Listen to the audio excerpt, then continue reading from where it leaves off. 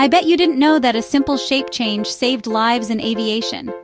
Let's uncover the disaster that made round windows a must-have. Here's the story.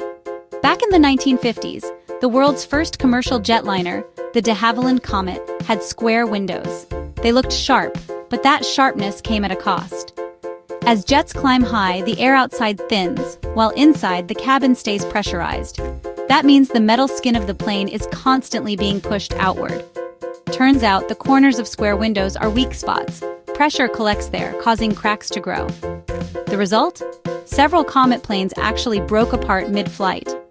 It triggered a huge investigation, and soon engineers realized round or oval windows spread pressure evenly. No corners, no weak spots, no deadly cracks. The industry changed overnight, and now almost every pressurized vehicle, from airplanes to submarines and spacecraft, uses rounded windows. So next time you look out your airplane window, remember that simple curve is a lifesaver.